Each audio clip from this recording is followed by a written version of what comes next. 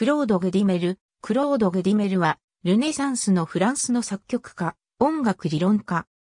カルバン派に改宗しており、サンバルテルミの大虐殺の犠牲になった。1549年にはパリにいたことが分かっており、その地でシャンソンを出版している。おそらくパリ大学に学んだらしい。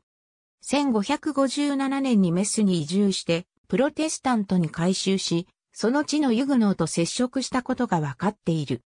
しかしながら、宗教戦争の時期に、メス市当局のプロテスタントに対する敵意が高まったため、同地を離れ、最初に、キジブザンソンに、ついでリヨンに移った。